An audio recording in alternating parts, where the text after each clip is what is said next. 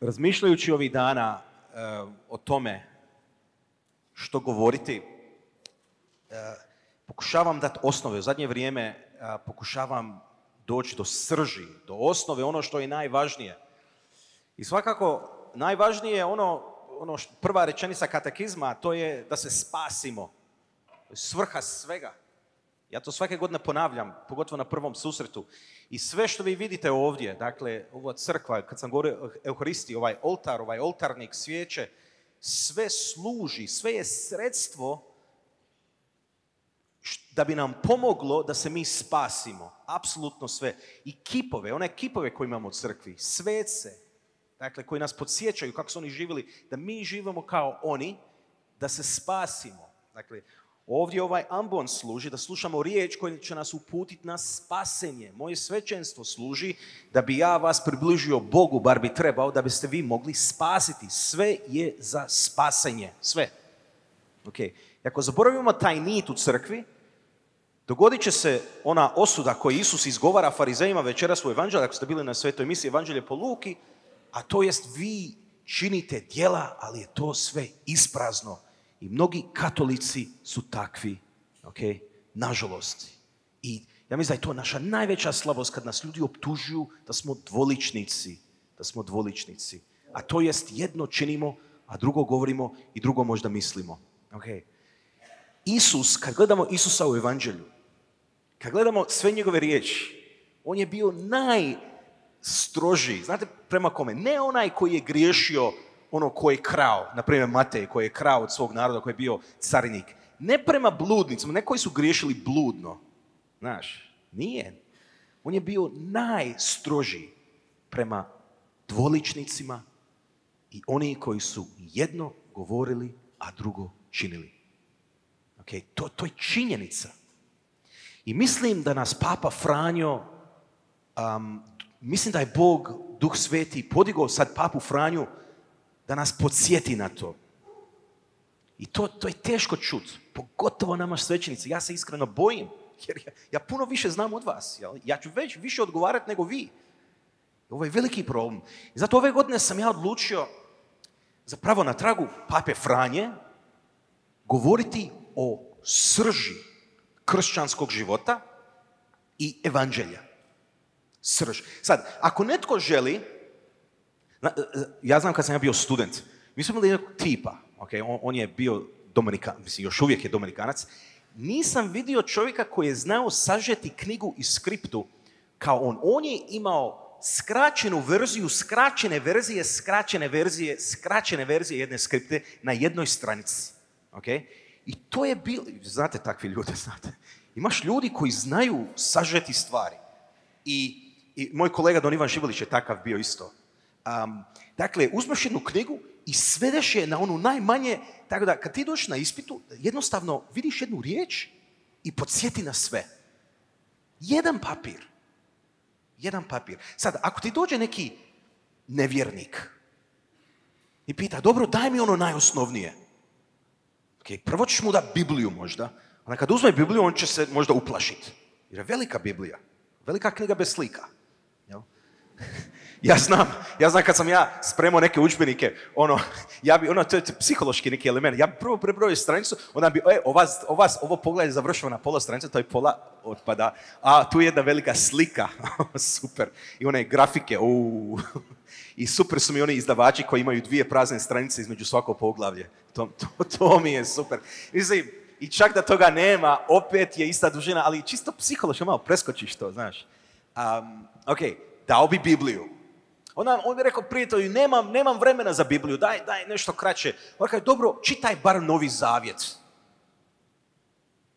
I onda on opet kaže, ej, slušaj prijatelju, znaš šta, um, ubrzan je život, gužva, žena, znate, dečki, kad imate ženu, nemaš vremena više.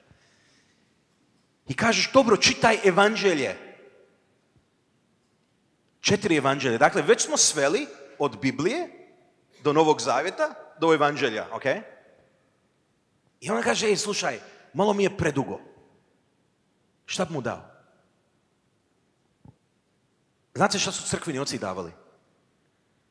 Uh, Mateju evanđelje zapravo. Evanđelje po Mateju smatraju da tamo je najsažetiji nauk Isusa Krista. Nije najbolje evanđelje, nije jedno evanđelje nije najbolje, evanđelje se moraju gledati integralno. Ako gledamo prve crkvene oce, znate što su oni radili? Najviše su komentirali Mateju evanđelje, zato što kod Mateja imamo Isusa učitelja. Ok, ali on će reći, prijatelju, predugo, nemam vremena. Onda ćeš odgovoriti, trebao bi odgovoriti, ok, govor na gori. Peto do sedmo poglavlje. I on će opet naravno reći, daj nešto kraće. Onda ćeš trebati mu znati reći, blaženstva. Ki blaženstva. Ki znate što su blaženstva? Koncentrat. Znate kad pravite sok, onaj gusti sok, nalijete malo, ok, samo malo. I od toga možeš napraviti puno više. Ok, to su blaženstva, to je gusti sok, bazga. Ok, najdraža mi je bazga. malo ti treba, a puno toga možeš napraviti od toga. Ok, dakle, to je, znate šta, blaženstva su sažetak evanđelja. Kad bi neko rekao, ono, ideš na pusti otok i samo možeš dvi, tri stvari, ok, četku za zube, dojni veš i Bibliju, a Biblija je prevelika. Ok, nemojte nikad trgati stranice iz Biblije. Kad bi morao trgati jednu stranicu, onu stranicu gdje su blaženstva. Ljudi moji, to je srž evanđelja. Okay? Dakle, to je govor na gori zapravo je srž evanđelja, a je blaženstva je srž govor na gori, to je, to je koncentrat. I ja mislim, i Papa Franjo to misli, da je dobro da mi malo sagledamo blaženstva i da vidimo o čemu se tu radi. Jer to je povelja kršćanskog života, to je, ide, to je osobna karta kršćanskog života. I ja imam dojam da mi previše ignoriramo blaženstva. Zato što taj govor je tako uzvišen i tako paradoksalan i tako čudan. Blago siromasima duhu, njihovo je kraljevstvo nebesko. Šta znači kraljevstvo? Zašto bi siromaštvo bilo blaženo? Blago, blago čistima srca, blago koji tuguju, blago gladnima i žednima. Ono, i zna, i zna, kad dođe to evanđelje na redu, on, ja slušam, ljudi slušaju, kako je fin Isus bio. Ono. Ali čekaj malo. Mislim, ja u petak moram ići na jedan sprovod i, i jedna majka umrla. I, I šta misli da bi ja došao i djeci njezinoj i mužu rekao, ej, blago tebi. Šta bi oni napravili? Pa, pa, pa oni bi podivljali možda, ne znam pojma. I ja mislim da smo mi tako često, tako puno puta čuli blaženstvo da, da mi ne dopuštamo da nas to šokira. Ok, pa ja želim s vama ući prije dvije, ja želim vas povesti prije dvije tisuće godine na toj gori, a ta gora je bila blizu uh, uh, u Galileji, i mi ne znamo gdje je ta gora bila, a postoji po tradiciji uh, gora blaženstva, brdo blaženstva, i mnogi, ako je itko bio u svetoj zemlji, sigurno su tamo bili, ja nisam, kažu da je prekrasna priroda tamo. Ja želim vas tamo povest sljedeći par tjedana da mi uđemo u Isusov, Isusovo srce i da mi vidimo zapravo šta je on zapravo rekao. I šta je on zapravo mislio kad je on to rekao. Jer, nažalost, i mi svećenici, ali tradicija, odnosno Danas mnogi ljudi to ignoriraju, jer mnogi ljudi mi dolaze i kažu, Dundamire, dokle je grijeh? Dokle je grijeh? Ili dokle smije mić? I svedu kršćanski život na popis propisa, odredaba, zapovjedi i običaja. I to je večeras Isus u evanđelju osudio. Okay. Zato polazište mora biti blaženstva. A da bi ja govorio o blaženstvu, ne moram nešto reći o govor na gori, da bi ja nešto rekao govor na gori, moram nešto reći o Mateju evanđelja. Pa sam mislio večeras jedan mali uvod napraviti, da vas malo omekšam. I onda ćemo mi zapravo tjedan za tjednom ići blaženstvo po blaženstvo, da mi zapravo vidimo što znači biti kršeni. Jer vidjet ćete da je to zaista sažetak evanđelja. I to će se vidjeti večeras po onoj uvodnoj rečenici i večeras samo ću tumačiti uvodnu rečenicu, niš drugo. Ugledavši mnoštvo, uziđe Isus na gori, sjede i, i poče naučavati.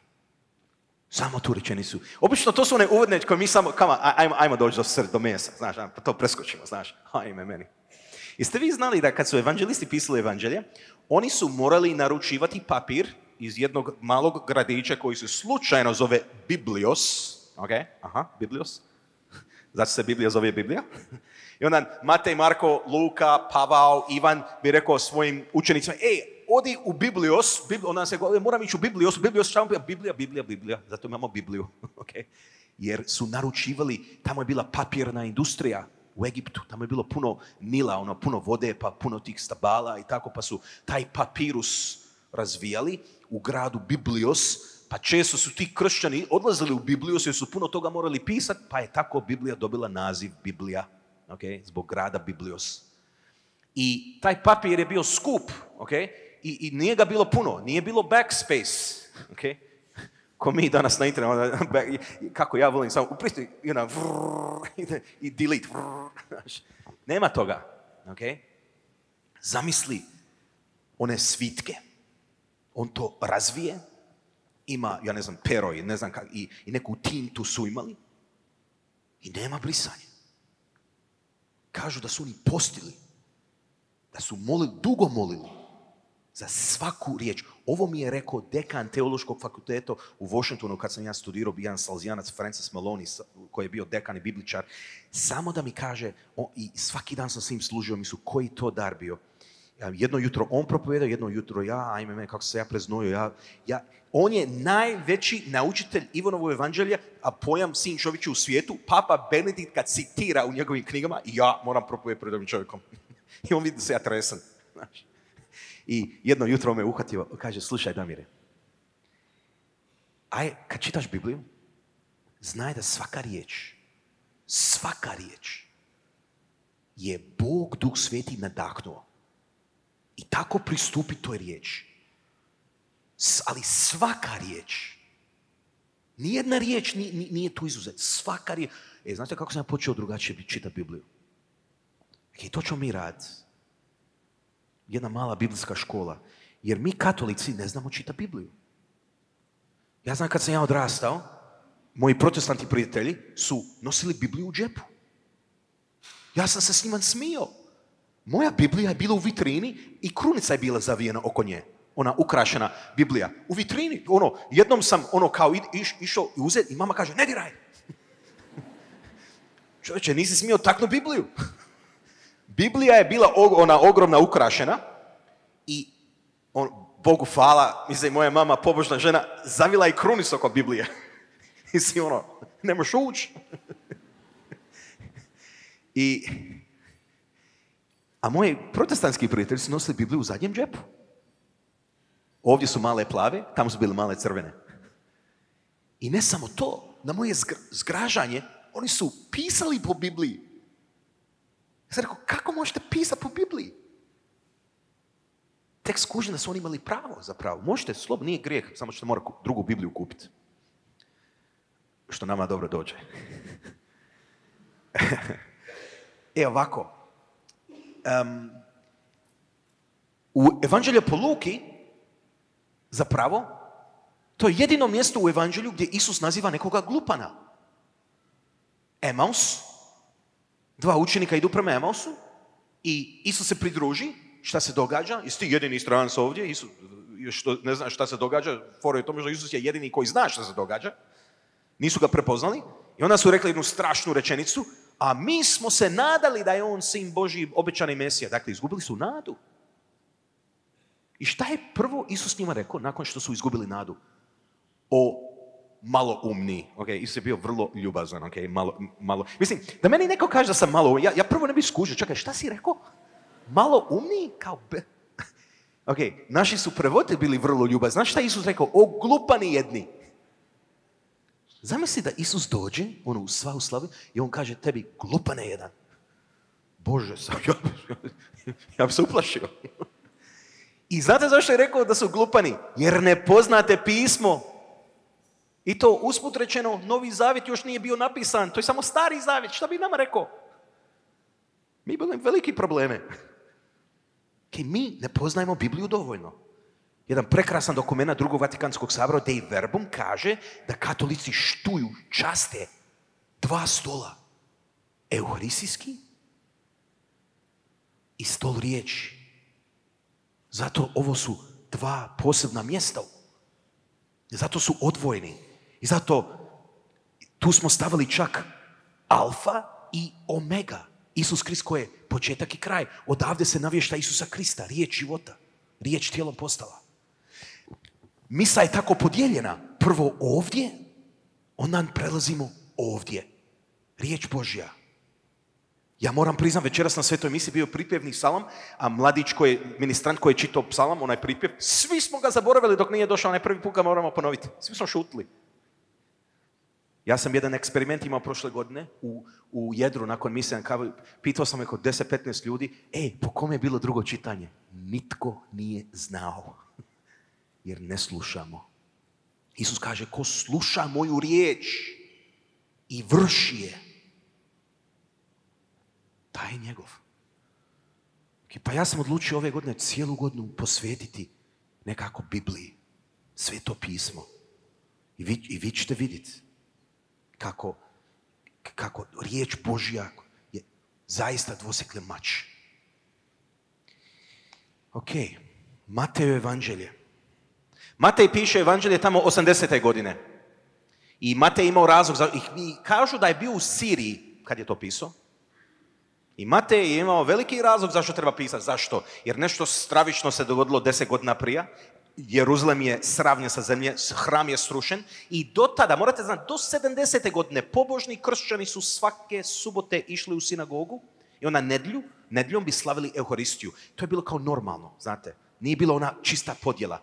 E, onda 70. kad su Rimljani napali Jeruzalem, kršćani su bježali, nisu, nisu branili Jeruzalem. Nisu branili. Nisu imali potrebu se boriti i uzeti mač protiv Rimljana. Nego, jer oni su znali, prvo su bili pacifisti, nisu htjeli proljevati krv, jednostavno su bježali. Židovi su im tako zamjerili da židovi su održali tamo negdje 80. godine sabor blizu mrtvog mora i znate što su napravili? Izopćili su Nazarečane. Zauvijek. To je, to je bilo izopćenje. Rekli su da kršćani, židovi, ti Nazarečani ne smiju više u sinagogu. Znate koji šok to bio za židove? Koji su bili kršćani. Mi to ne možemo shvatiti. To je njima bilo strašno. I na tom saboru rabina ukinuto je stalež farizeja, jer ne, ne mogu više prenijeti žrtvu u hram, jer hrama nema, pa su tada nastali današnji rabini još uvijek. I oni su tada izrekli šta znači biti živ, napravili su svoj kalendar i tako dalje i rekli su izričito nazarečani, takozvani kršćani, ne smiju više u sinagogu. Matej za uzvrat je rekao, o ja? Sad ću ja vam pisati moje evanđelje. Pa ću ja vama reći što znači biti kršćanin. Vidite kako je važno znati kome je Matej pisao. Matej je pretežno pisao kršćanima židovskog porijekla. I on želi njih potvrditi u njihovom identitetu. Pa on je vidio da kršćani nema identitet. On, mora znati tko je, što je. I zato crkveni oci najviše citiraju Mateja što se tiče Isusovog nauka. Tamo ćeš vidjeti Isusa učitelja. I u Mateju evanđelje imate Isusov nauk na najbolji način. Ima pet velikih govora, ja ih zovem govori koji su promijenili svijet. Prvi je govor na gori, onda govor o misiji, on govori o poslanju apostola, onda takozvani govor u prispodobama, o kraljevstvu, jel? ondan govor o crkvi, on govori o crkvi i ondan zadnji govor je govor o posljednjim stvarima. Nebo pakao. I prva crkva je uzelo Matej evanđelje kao jedan katekizam. Ok. Sada, govor na gori. Ja ću, ja ću večeras mali uvod u govor na gori da bi sljedeći put krenuli blaženstvo za blaženstvo. To je mali uvod u Matej. Sad govor na gori, to je peto, šesto, sedmo poglavlje Mateje evanđelje. Tri poglav. To je jak, dosta dugačka propovijed. I počinje sa blaženstvima. A samo još da nešto kažem o tome. Mi vidimo kod Mateja, prvi četiri poglavlja, pa također peto, šesto, sedmo, Matej pokušava uljevati identitet kršćanima.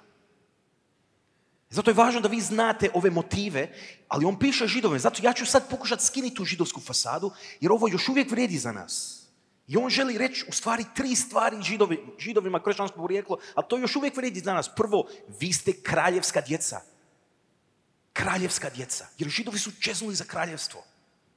Drugo, vi ste svećenički narod. I treće, vi ste proročki narod. A također i četvrto, ja bih dodao, vi ste djeca Božja. Šta se događa na krštenje? U obredu svećenik uzme ulje i pomazuje tebe i govori ti si, ti si budi ud Kristov, svećenički, kraljevski, proročki, kao ud Kristov. Dakle, ovo je naš identitet. I zapravo, kad gledamo govor na gori, to je nevjerovatno kako ovo izbija. Na primjer, blaženstva govori što znači biti član kraljevstva. Koji su karakteristike? Onda u toj govor na gori čujemo molitva oče naš gdje molimo dođi kraljevstvo tvoje. I treće, gdje Isus daje jedno obećanje kraljevstvo. Znate, to je tako važno gdje Isus kaže ko gradi kuću na stijeni. Mudar čovjek gradi kuću na stijenu. Aj, molim vas, ko ćemo oduševiti? Koji je bio onaj simbol mudrosti u starom zavjetu? Salamon, Salamon. Nemojte se stid, Salamon. I šta je on gradio na stijeni u Jeruzalem? Hram i svoje kraljevstvo. Također imamo svećeničke motive. On kaže, vi ste sol zemlje. Ste vi znali da soli, svećenici su izvršavali žrtve soli, oni su žrtvali sol, oni su palili sol tamo kao simbol čistoće. A pitajte baku vašu, kad je ona krštena, znate šta je svećenik rade u, pre, u pred ovaj, u tridensko vrijeme, prije Vatikanskog sabora? Zrno soli na jezik. Kad je svećenik krstio djecu u ono vrijeme, zrno soli bi stavio na jeziku. To je svećenički simbol. A šta znači biti svećenik? Ja sam svećenik u užem smislu. A šta znači biti svećenik u širem smislu riječi? Šta radi svećenik? Mi smo pontifex. Mi smo, mi gradimo most. Kome? Između Boga i čovjeka. Ja to stvarno radim u službi. A kako ćeš ti sutra izvršiti svećeničku službu? Ti ćeš reći svom prijatelju, hej, sinoć sam bio kod Don Damira na znaš kako je bilo dobro? Ej, aj dođi sljedeći put. On će doći, on će se uduševiti i on će htjeti, ej, ja se želim krstiti. Ej, ti si izvršio svećeničku službu. Bio si most između Boga i čovjeka. To je svećenička služba. Svaki put kad ti nekoga dovedeš Bogu, vršiš svećeničku službu. Nadalje vidimo, tamo piše svjetlo svijeta. Vi ste svjetlo svijeta u Govornoj gori. Isus kaže, to je isto svećenička aluzija. Zašto? Jer su židovi vjerovali da će hram na, u posljednjim vremenima biti svjetlo u mraku ovog naraštaja. To je crkva danas, jel? Svaki put kad se događa grijeh i ti uletiš i kažeš ne, ti si svjetlo. Opet vršiš svećeničku službu. Spominje se tamo grad na gori, jel vi ste grad na, grad na gori, to je opet svećenička slika hram, jer hram je u gradu na gori i tako dalje. On nam kaže, stavite vaše blago u nebo, a ne na zemlji. A gdje se blago čuva? Ajte u Dalmaciji pitajte. Čak svećenik ne zna gdje je ključ od, od, od, od riznice. Blago se čuva u crkvi, jel? Riznica. Tako blago se čuvalo u hramu. Isus kaže čuvajte blago. To znači, to je svećenička slika. I nadalje, ovo mi je super, ne dajte svetinje psima. Niti svog biserija bacajte pred svinje. Zašto? Pasi svinje nisu smjeli ući u hram. To je opet svećenička slika. Svećenici su morali stati na vrata i nisu puštili da psi i svinje ulaze u hram. Jer su lutali tada, no, to su bila luda vremena. Jel? Nisu smjeli, jel? nisu smjeli ući. Ona on kaže pitaj, traži i kucaj, pitaj i daće se i tako dalje. A to je hodočasnički vokabular. Doslovce hodočasnici na putu pitaju put, gdje je put. Oni traže upute i kad si došao do hrama mora si kucat. Vidite kako riječ Božja se oživljava ovdje. Ovo su sve svećeničke aluzije za nas. A Isus ovo govori narodu. Ovo su sve u ta tri poglavlja. Onda on kaže ulazi kroz us, uđite kroz uska vrata. Znate zašto? Je bilo toliko ulaza u Jeruzalem, a bilo su jedna vrata ti su uska. I dok ti ideš se klanjati, ti nisi smio taknuti poganina. A mi muškarci nisu smjeli taknuti ženu.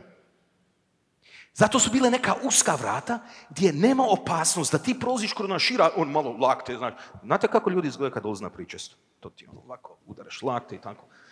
Uska vrata, samo jedna osoba. I to je bio ulaz za hodočasnike. Dakle, opet jedan sve, svećenički žargon. E, ovo mi je najdraža. On kaže, on daje jedno obećanje nama. Matej 7 i ovako završava sve. On kaže, nemojte biti ludi ko onaj čovjek koji gradi na, na pjesku. Gradite kuću. Na, ko sluša moju riječ, izvršava je kao mudar čovjek koji gradi kuću na stijeni. Šta sam rekao, ko je bio mudar? Salomon, šta je on gradio? Hram. Za koga? Za svećenike. Jeste vi svjesni da ovdje Isus kaže da vi morate graditi crkvu zapravo? Ovo su nevjerovatne stvari. I zato, zato, nakon što je ovo Isus rekao, pogledajte zadnju rečenicu govor na gori. Ja imam dojam, kad bi ja sad čitao vama govor na gori, vi bi ovako...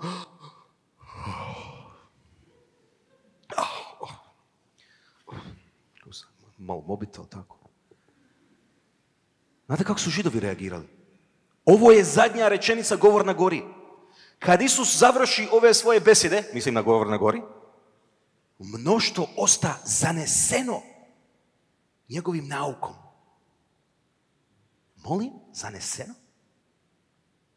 Зато што сол земја, светло свијета. Знаете како е тоа било шокантно за жидове? Знаете што Исус нема, нима рекол? Ви сте они кои ќе градите едно ново кралјевство, ви ќе би свеченички народ, ви ќе би кралевски народ. Ja, ja želim da, vaše srce igra u ovom trenutku zbog onoga što ste primili na krštenje i zbog vašeg identiteta, a to je da ste svećenički, kraljevski narod. I obi, ovo je obiteljski žagor, jer ovdje se 17 puta spominje riječ otac. Gradnja kuće, djeca. Dakle, Matej je htio utvrditi svoju braću, kršćane, u ono vrijeme, u smislu jest da su nas izopćili sinagoge, a ja vas danas uopćujem, jest da te možda ismijava, jest da momak ne želi takav život živjeti, jest da muž traži ili žena ili ne znam što već, ili prijatelji kradu, ti, ali ja ti kažem da si ti kraljevsko, ti si baštenik. Tako je važno ovo znat.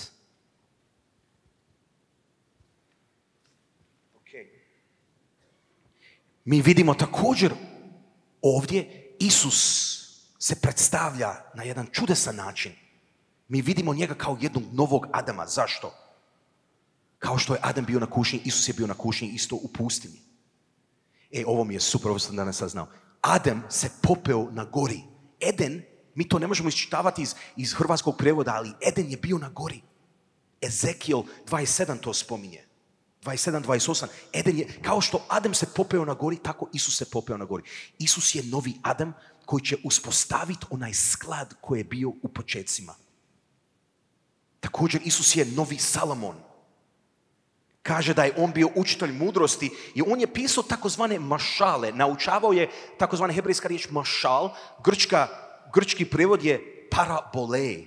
Hrvatska riječ prispodobe. Isus je novi Salomon. Naučava, poučava u prispodobima. Gradi novi hram. Ali najviše Isus je novi Mojsije. Mojsije i Isus su tako slični. Kraljevski je edikt dan da se ubije djeca za Mojsiju, a Herod je isto to činio za Isusa. Vidimo da Isus i Mojsije su odrasli u Egiptu za vrijeme progona. oni su pozvani iz Egipta da izađu vani. Oba dvojica su prošli kroz neku vodu. Isus kroz vode Jordana, a Mojsije kroz Crveno more. Isus je bio 40 dana u pustinji, Mojsije 40 godina. Mojsije treba malo duže, jel? Mojsije daje novi zakon, a kao što ćemo sad čuti, Isus daje novi zakon. I najviše zapravo je ta sličnost s Mojsijom, jer mnogi ljudi ne znaju, kad je dragi Bog pozvao Mojsije iz Egipta, cilj nije bio Sinaj. Nije bio Sinaj. Bog nije njega zvao vani iz Egipta da on dođe do Sina i dobije novi zakon. To nije primarno. Primarno je da se uspije na drugu goru, goru Sion, i to se vidi u izlazak 19. Odnosno 15. Gdje kad je Mojsije izišao, on je pobjedničku himnu zapivao, ali on je rekao, ali mi idemo do jedne druge gore. I znate šta? Židovi još uvijek čekaju. Okay, mi smatramo da ta, ta, ta, ta gora, taj Sion, taj novi hram je danas katolička crkva. Ja ću to vama dokazati. Mi smo baštinici ovog obećanja. Mi smo dio ispunjenja tog obećanja. I tamo Bog daje Mojsije još jedan obećanje. Slušajte, izlazak 19. Kaže, stoga budete li mi se vjerno pokoravali, držali moj savez, vi ćete biti predraga svojina mimo sve narode. To je moj, ta moj sav svijet. Vi ćete biti kraljevsko svećenika, narod svijet. Ovdje Jahve obećaje jednog dana, ako budete vjerni, vi ćete biti kraljevi i svećenici, narod svijet. I ako ste vjerni, i njihova vjernost trajala 40 dana pa se počeli klanjati teletu. E, mi smo ispunjenje, kraljevski svećenički narod. I zato kroz cijelo Mateja evanđelju vidimo taj motiv kraljevanje i svećenstvo. Ok, blaženstva. Ajmo krenuti sa tom famoznom rečenicom. Famozna rečenica. Kaže ovako, ugledavši mnoštvo, uziđe na goru i kad sjede, pristupe mu učenici on progovori i stane ih naučavati. Ok, neko će reći, pa dobro, ajde sad, ajmo sad do blaženstva. E, znate šta, ova rečenica je tako jedinstvena. Pogledajte sve one uvode koji Matej, Marko, Luka, Ivan pišu. E, znate, mi kažu u ono vrijeme, tada Isus, pošto je bio u Kafarnam, ode u Galilej. Ok, to su takozvani uvodni rečenice u ono što će Isus reći. Ok, ima puno takvih rečenica, ali ova rečenica jest jedinstvena. Prvi kršćani, kad su ovo čitali, oni kad su to vidjeli, oni rekao, wow, wow, ajmo vidjeti šta ima za reći. Jer ova rečenica je tako jedinstvena. To ti je kao neki veliki uvod, neke bubnjevi, znaš, ono, nešto se dogoditi. Samo mi to ne vidimo. Pa ja želim otvoriti oči, vidjeti zašto. Prvo, uziđe na goru. Ne, ugledavši mnoštvo. Prva riječ. Ugledavši mnoštvo. I onda on kaže, uziđe na goru. Ok, analogija je Mojsije. Mojsije je sam išao na goru. Isus, ugledavši mnoštvo, kao da ih poziva, idite sa mnom. U smislu, dok Mojsije išao gore, dobio je zakon i vratio natrag, Isus kaže, ako želite, morate sam. To ti je kao ovako. Znaš, prolaziš nek i ne želiš biti primjetan, pa samo kaže, a zamislite Isusa ono, ugledaš je gore i on, on ako gleda ovako gore. Poziv, poziv. Ugledaš im mnošto uziđe na goru. Ok, gora, gora. Gori gora. ok, nećemo tim smjerom ići. Nećemo, nećemo tim smjerom ići. Gori gora. Ok. Gora. Gdje god se gora nalazi u svetom pismu, imamo susret Boga i čovjeka, gdje god. I zato Isus, koji je Bog, ide na tu goru, a vidite, on tamo moli, inače Isus kad god ide na goru moli i on susreće svog oca, on razgovara svog oca i zato ovaj novi nauk dolazi od oca kao plod molitve.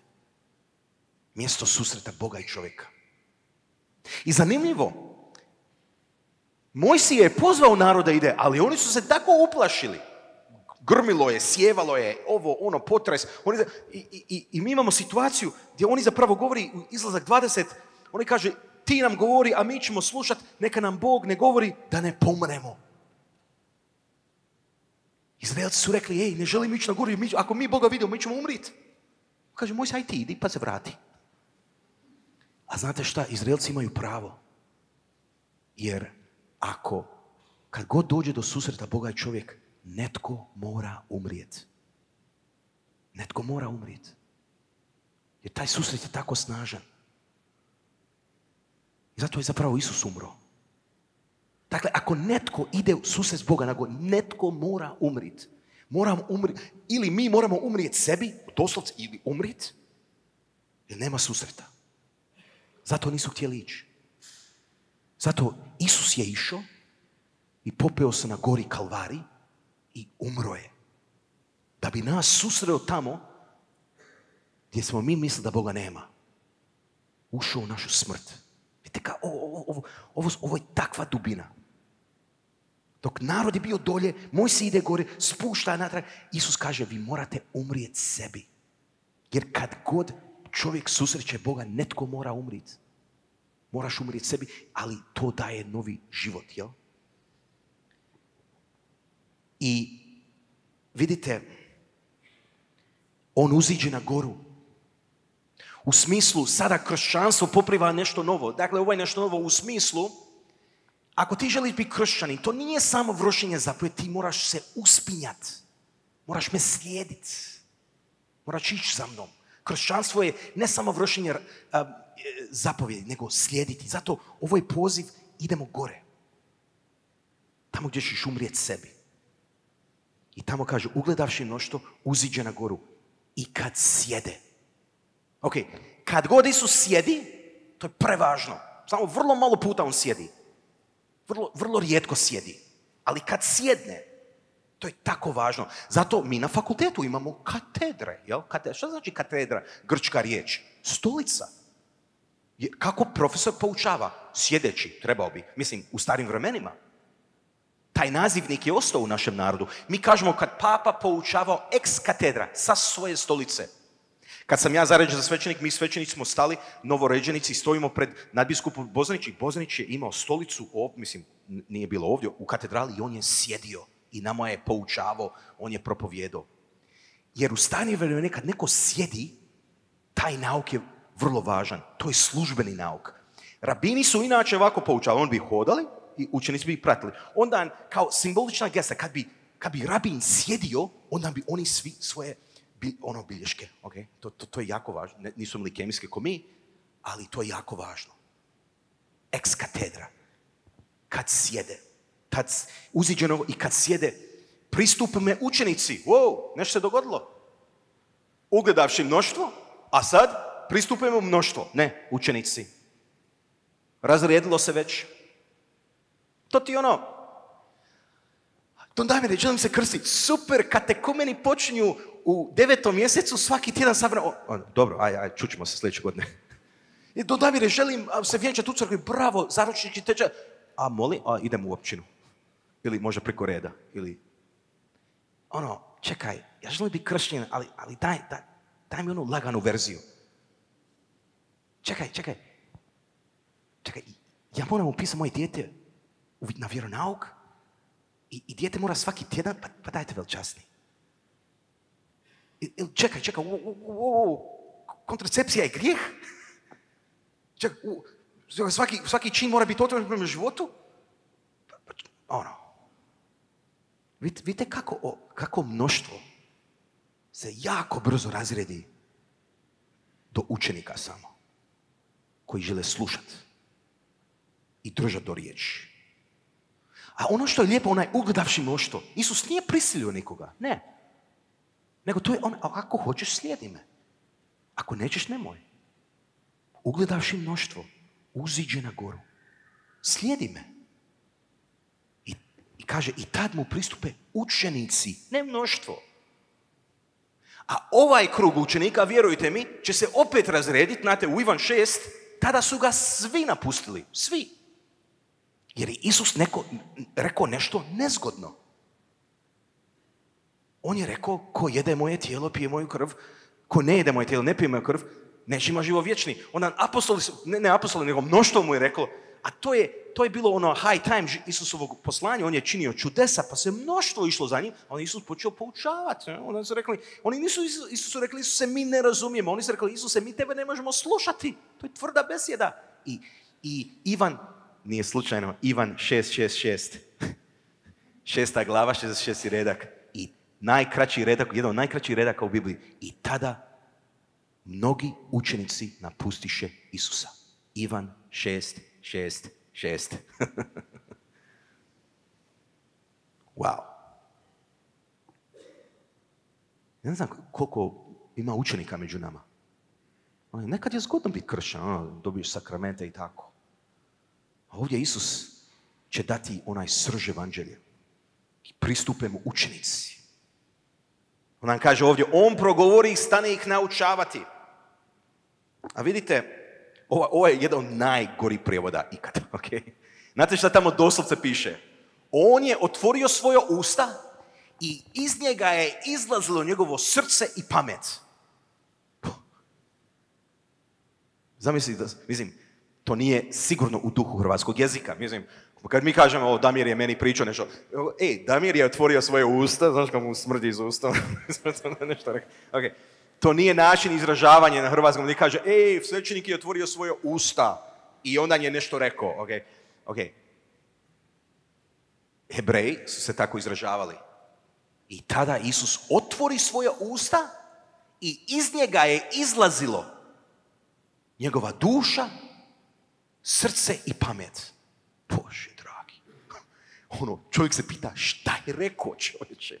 Šta je on rekao? Isusova duša i pamet i srce? Šta je rekao? Blaženstvo. Zato smatraju da je ovo najvažnije što je Isus ikada rekao. Blaženstvo. Ok. Dolazimo sad do kraja ovog prvog.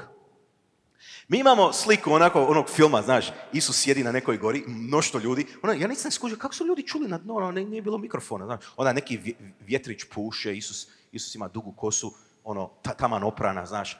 I, i, i onako, ono, sjaj taman, sunce ga udara onako s ove strane i filmski i svi onako slušaju, znaš, blago i niko niš ne pita, svi su, ono, znaš, ok, najvjerojatnije nije tako bilo, ok? najvjerojatnije tako nije bilo. Ok. Mnogi bibličari su ujedinjeni u svoje mišljenje da ovo nije bila samo jedna propovjed od jedan put. Ono, na meni neki kažu da ja dugo propovjedam, ok? Ovo je ono, tri poglavlja. Ok, nama to nije bitno, je ovo Isus rekao u jednom mahu. Zapravo mi znamo da najvjerojatnije nije zašto ovdje u blaženstvo pogotovo se koristi jedan, jedan, jedan, jedan, jedan u gramatici jedan, jedan verzija prošlosti, zove se o, imperfect, o čemu ja pričam, imperfect, jel? U smislu, nije ono, Isus je rekao tada, to ne, nego Isus je znao ovako propovijedat. neka prošlost koja se još uvijek događa. Evo, to je taj oblik prošlosti koji se koristi u govor na gori i za blaženstva. Dakle, Matej to prenosi kao u ovom smislu. Ovako je Isus nas poučavao oni tri godine kad smo s njim bili. Okay. Iako mnogi ljudi misle da je to jedna propovjed, ono, u jednokratno, samo jedan put. Ok, najvjerojatnije nije. I zato vidimo Luka donosi malo drugačiju verziju. To znači, Isus je možda više puta ovo govorio. I ovo je, ponavljam, sažetak. Sažetak.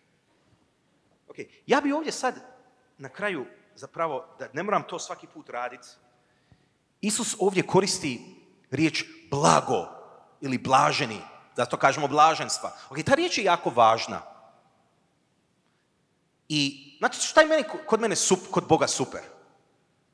Malo gledajte naš Bog. Mislim, samo jedan Bog. Ali istinskog našeg Boga. Kad god pristupi čovjeku u starom zavjetu, uvijek počinje sa obećanjem sreće. Uvijek. Uvijek. To je tako lijepo. To je tako dobro. Mnogi ljudi kažu, o Bog zapovijedi. To, to će doći kasnije kad, kad mi zbrljamo stvari. Aj, ste ikad vidjeli sliku kad mama i tata uzmu dijete? I kako taj, ta interakcija izgleda? Ono, otac, majka, otac uzme dijete u ruke, svoju djevojčicu ili sina i on kaže, slušaj, moraš sve jesti sa svog tanjura, ono, kad budeš 15 godina. I, i znaš, samo ću ti sad reći, slušaj, ovako, petkom moraš se vratiti do 10 sati. Okay? E, još jedna stvar, u slučaju da zaboraviš, ok, znam da si sad mlad, uopće ne kuš, nemoj, čisto da imamo on the record, um, za džeparac, dobit ćeš toliko i moraš me uvijek pitati, ok, ne, ne, to se tak ne radi. Onaj prvi kontakt sa bebom jest, joj, kako te volim, joj, ljubavi moje. O, ja ne znam što zapravo roditelji kažu djeci, ja nemam dijete.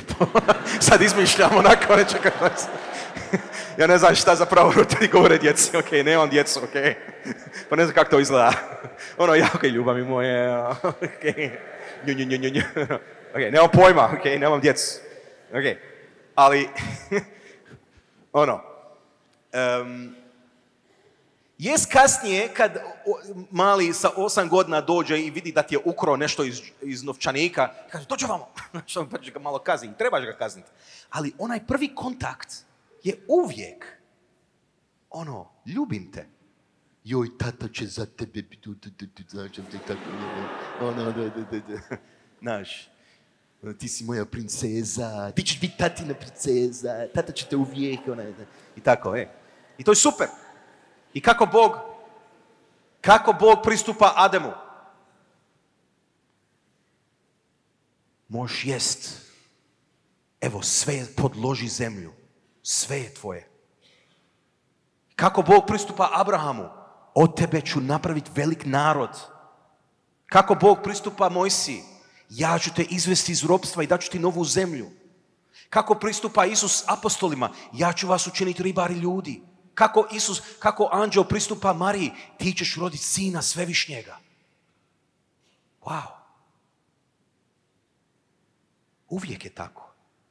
Uvijek Bog govori ja ću ti nešto dat. Ja ću ti nešto dat. To je prekrasno. Kod nas u državi funkcionira na kaznu. Moraš ovo, moraš ono. Je, onda kasnije dođe to, Isus će iste, ali prvi, prvi, prvi kontakt je dobit ćeš nešto. I znaš zašto je to tako? Jer to odgovara našoj najdubljoj čežnji. Jer ja ne znam ovdje pola ljudima, kakvi pola, ne znam tu nikoga skoro, možda znam neke face, tako. Ali ja nešto znam o vama. A znate šta je? Svi želimo biti sretni. Svi, točka. Svi. E, sada, naše tumačenje sreće je totalno drugačije. Ja, kad bi išao redom ovdje, mi bi, ono, šta je sreća, svi bi imali drugu verziju, ok? Ali svi želimo biti sretni. I lopovi žele biti sretni. Svi. Svi žele biti sretni. To je istina. I zato Bog, Isus Kristu, kad je morao reći ono najvažnije što je ikad rekao, znate šta je rekao? Blaženi. On obećaje sreću. Wow! To odgovara našoj nutrini. Ono, by default moram, moram uh, čitati nešto iz, iz katekizma 1.7.1.8. Blaženstvo odgovaraju urođenoj čežnji za srećom. Katekizam kaže, ta čežna je izvorno božanska. Bog ju je čovjeku usadio u srce da ga privuče k sebi, jer je samo on može ispuniti. Dakle, svi imamo jednu želju za srećom. Isus u blaženstvo u uvodu kaže, ej, ja ti obećajem sreću potpunu. To, to, to Isuse. Jer svi želimo sreću. I svi želimo ući u nebo. Znate šta su blaženstva? Isus nam daje osam raspoloženja srca, dispozicija koji mi moramo imati da bismo ušli u nebo gdje će biti vječna sreća. To nije ono, moraš ovo raditi, mora, moraš biti ovakav. Isus u blaženstvu nam daje osam nijansa, osam načina, osam stavova, osam dispozicija, osam ne znam koju drugu riječ, sve sam ih iscrpio sinonima iz moje glave. Osam, osam stanja srca koji član kraljevstva mora imati da bi ušao u nebo. Evo ga, to je to. Ljudi, ovo je najvažnije. Zato ta riječ, blažen, blago, je zanimljiva grčka riječ. Na hebrejskom je ašre, to je riječ koju Isus rekao, a na grčkom napisano je makarios. E, makarios je malo, malo neobična riječ. Makarios znači jedno stanje gdje ti imaš, ja ne volim riječ sreću, a nekad je moram koristiti, gdje ti imaš takvu, takvu unutarnju radost, takav mir, da te ne može nitko poremetiti poremetiti. Ja ne znam, jeste ikad to osjetili? Tako, takva radost da, da, da čak kad se nešto loše dogodi, usred toga ti si opet radostan, jer ova radost koju ti imaš je tako velika da ne može ništa nadmašiti. Jučer smo svi bili sretni, upi, Hrvatska pobjedila. Ja sam do podne zaboravio. I ono, malo sam gledao i yes! Šta ono imam sutra u 10 sati, moram 11 sati. Ono. I nosilo me jedno vrijeme, a dobro. Ja sjećam kad sam diplomirao, magistrirao zapravo. O, ono, nakon pet dana, ajde. Mene zanima, je li ima nešto što me može tako učiniti sretnim i radosnim, da me ne može nitko ništa poremetiti, pogotovo kad ti neko umre, pogotovo kad te progone, pogotovo kad tuguješ i gladuješ. A to, tu smo. To me zanima. Koji luđak to ne bi htio? Koji luđak to ne bi htio? Ima takvu sreću i mir i radost. Gdje se to nalazi zapravo?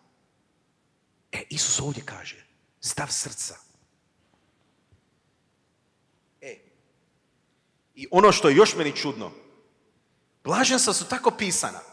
Prvi drugi dio su totalno paradoksi, neću sad ući u to, to već od sljedećeg puta ću to tumačiti, ali u istoj rečenici imaš ono još je, no, već je, ali još nije. Imaš jednu čudesnu mješavinu prezenta i budućnost. Vrlo čudesno. To samo znači kad tuguješ, kad gladuješ, kad si progonjen, jest da ima jedno obećanje za jednu vječ, ali već sada je moguće. To također je u blaženstvima. Kažu za otok Cipar da je to bio otok Makarios. Zašto? Jer kad si ti na Cipru, ne moraš ići dalje. Tako je lijepi. Uvijek je hrane bilo, uvijek je vegetacija. E, um, dakle, samo dostatnost, dakle, dakle, ta srča je u tebi, ne možete niko iskorijeniti. Treba vidjeti je Makarska dobila riječ od Makariosa, mislim, ali ne znam, tamo Makarska je druga priča. Okay. I na kraju, zapravo, blaženstva nam govore zapravo.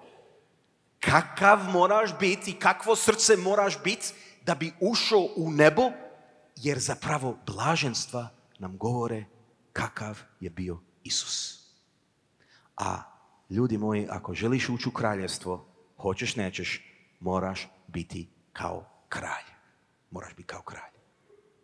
I blaženstva nam govore kakav je bio Isus, jer to je njegova duša, pamet i srce da bismo mi bili kao on, da bismo mi mogli ući u nebo. I to je to savršenstvo, jer u govor na gori budite dakle savršeni. On nam Petar Bruga, kako? Ja gledam i vi gledate mene, kako? Ja isto se pitam. I zato kroz ovih par tjedana ja ću vam izložiti ne samo jedan popis stvari, ok, neko će reći, ima neki blokić, a, blago, milosrdno, kvačica, jesam, blago, uh, gladimo še, kvačica. Ne, ne, ne, ne, ne, ne radi se o tome. Ne radi se o tome. Radi se o, o jednoj dispoziciji.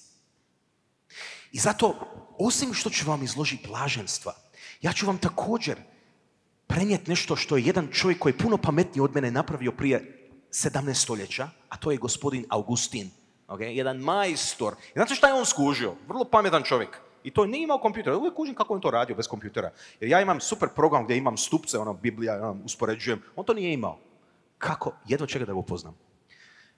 On, znači šta je on napravio?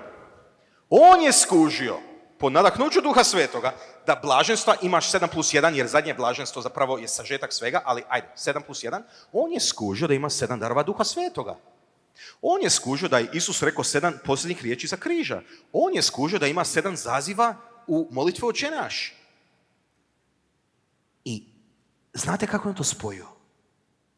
Kako se poklapa? Nevjerojatno. Ona je skušao da ima sedam grijeha, sedam glavnih grijeha. I kako je to sve složeno kao jedna kontra, kontra udarac na te grijehe koji nas mogu uništiti. Mogu nas uništiti. I zato ja ću vam zapravo izložiti program kršćanskog života koji zapravo treba cijelu, cijelu životni jedan hod da živiš. I Kad kažeš ja to ne mogu, zato imam sedam darova duha svetoga koji će ti pomoći malo u tome. I zato imamo sedam zaziva učenaš da molitva. Jer ovo ne može samo čovjek, ovo nije samo, kad me neko pita, Damire, kako dođem do trg pa kažem, uzmi čet... O, vi, već sam pogriješio, četrnetica ne ide odavde, ide sedmanestica. To je tehnika, ovo nije tehnika, ovo je pitanje srca. Pitanje srca. Ili kad muž pita ženu, ej, de mi reci, e, gdje je ona crta prevare, naš, imam zgodnu tajnicu, ne želim te prevariti. Samo reci gdje je ta crta. Onda, znaš šta mi re... kaže, aj ti meni reci, ženo draga, ne želim te prevariti, i ona zadnja crta, jer ne želim tu preći. On kaže, molim, ne smiješ ni pomislit. I znaš šta, ona ima pravo. Jer tvoje srce pripada meni. Ne smiješ misliti o njoj, ne smiješ je gledat. ti moraš misliti o meni, ti moraš gledat samo mene. I Isus u blaženstvu kaže, moraš samo misliti na mene, moraš samo gledat mene. Jer ti si moj, ja sam tvoj. Sto posto. Ali to nije teret. Nego Isus je rekao, došao sam da bi imali život u izbilu i da vaša radost bude potpuna. I ljudi moji, ja se nadam da ćemo prenijeti kako je lijepo biti kršćani. Evo ga. To ćemo drugi puta. Hvala vam lijepa.